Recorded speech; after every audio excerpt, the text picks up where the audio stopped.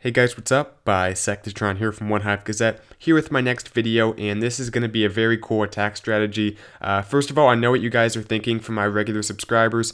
No upload yesterday and a very short upload today, so I apologize for that, but tomorrow should have probably multiple videos. I should be able to record a lot tomorrow, and probably a defensive video, hopefully a Town Hall 9 base build if I get around to that. So look forward to that tomorrow. But for this video, uh, this is going to be an attack strategy. Only have one attack to show, but I wanted to show it as quickly as possible so you guys have access to it because um, I, I always want you guys to be able to be the first people to see it so that this channel has it first, uh, which I think is something I always strive to do is have the first attack strategies as soon as they become popular. Not sure how big this one will get, but it's a surgical earthquake uh, baby dragon attack. So I've talked bad about mass baby dragons that they don't work that well, but I think they might actually have some potential, especially with the queen walk to go with it.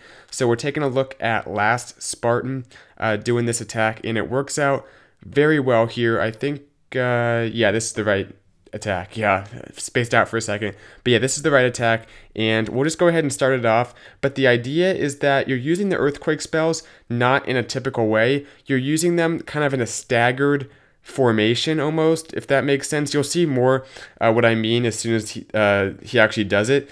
But you use the earthquake spells in a very special way.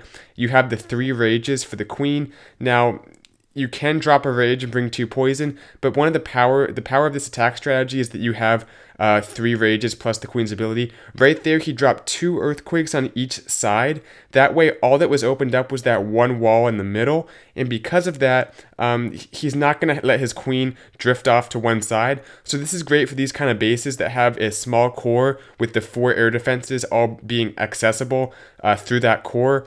Um, as long as the queen pathing is uh, decent, and you can predict where the queen will go. Uh, this can be a very effective strategy, and he knows he can get all four air defenses taken out. Drops that first rage, takes out the dragon in the CC, and notice that he gets these baby dragons going somewhat early.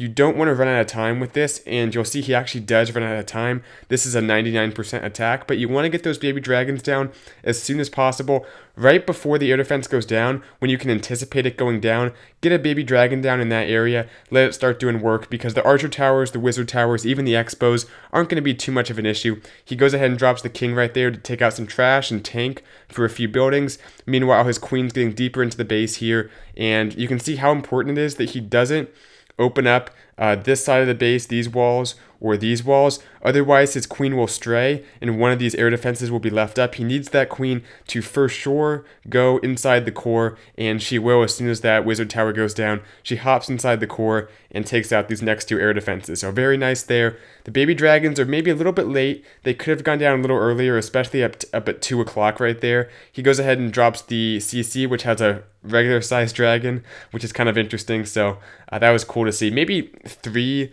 max baby dragons would have been more effective. I don't know.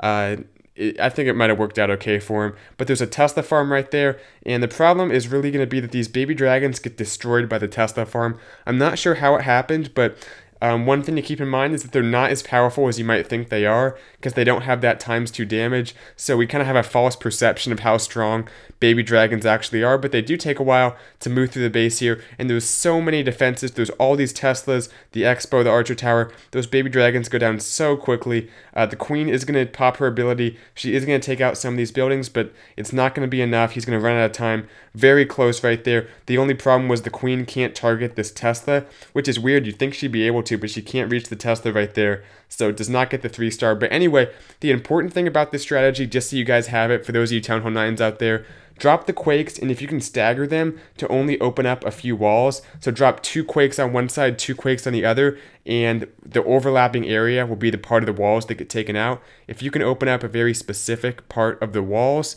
and if, if that funneling works out, if the pathing works out, I should say, and the queen, you can predict that she'll go inside the core of the base and all four air defenses are reachable because a lot of bases are designed that way where the core of the base can uh, be accessed. It can access all four air defenses if the queen gets in there. If that's the case, get your queen in there, get those baby dragons going early, and this can be a very effective strategy. So I uh, hope this video helped. If it, if it did, drop a like and uh, let me know what you think in the comments. Any questions, all that good stuff I'll be sure to take a look at that.